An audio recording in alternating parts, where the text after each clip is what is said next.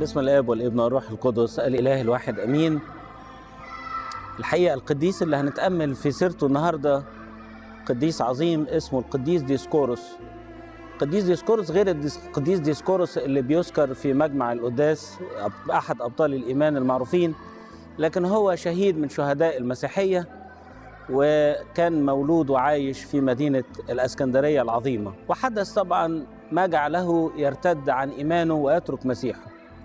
طبعا هناك حروب من الشيطان باستمرار تشكك الإنسان في قوة ومحبة الرب يسوع المسيح. واحيانا يستخدم بعض الأشرار هذه الأمور اللي بتضغط على الإنسان.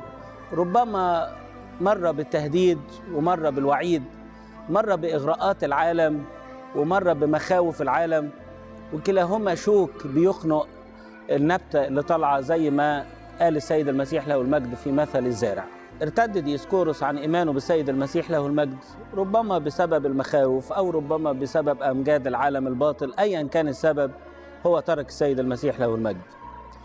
طبعا زمان ما كانش ال communication والاتصالات والإعلام سهل كده. كانت له أخت في الفيوم سمعت هذا الخبر عن ترك أخوها للمسيح بس ربما بعد فترة طويلة جدا.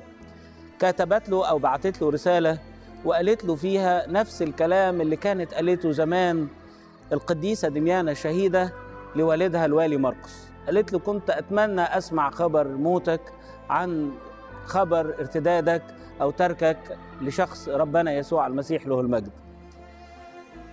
دي آخر مكاتبة بيني وبينك وما تنتظرش مني أي مكاتبة. أنا الحقيقة إن كنت النهارده بحتفل بديسكورس أنا بحتفل بأخته. هي كمان بطلة. هي كمان قامت بدورها. ربما كل إنسان فينا ساعات يتقاعس شوية عن دوره أو يقول أنا مالي ده مش دوري ده دور الكنيسة ده دور أبونا ده دور خدام الكنيسة. كل واحد فينا ليه دور. وإذا إنسان استطاع أن يرد إنسان عن طريق ضلاله بيخلص نفسه من الموت وبيستر كثرة من الخطايا زي ما قال القديس يعقوب الرسول. وده اللي حدث بالظبط لما أخته اللي كانت مقيمة في الفيوم بعتت له المكاتبة ديت وأثرت فيه وبكى بكاء مر لدرجة إنه نتف لحيته وابتدى يبكي ويندم ويتوب بطريقة جميلة فيها انسحاق حقيقي وكأنه كان مغيب عن العقل ورجع تاني إلى رشده إلى عقله.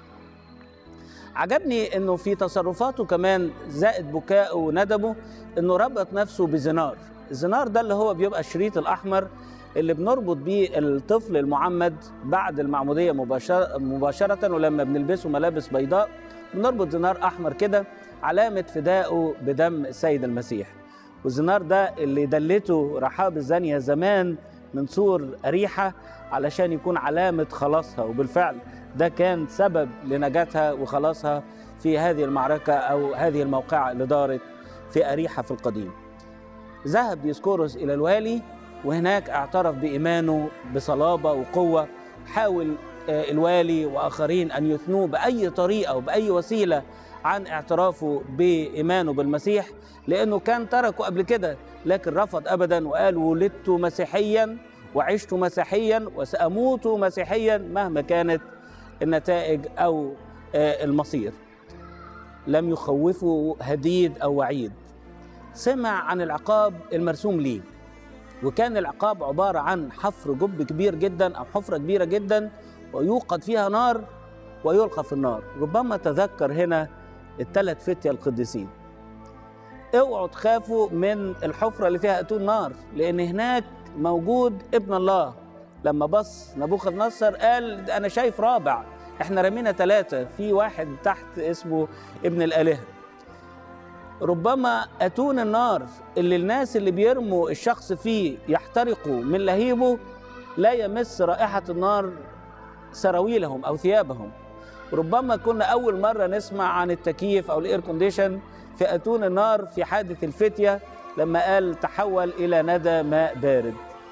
حفروا له الحفرة وحموها بالنار وألقوه فيها وكان مكانه طبعا في السماء مع السيد المسيح والشهداء والقديسين. بنحتفل بعيده في كل سنة في يوم ستة برمهات.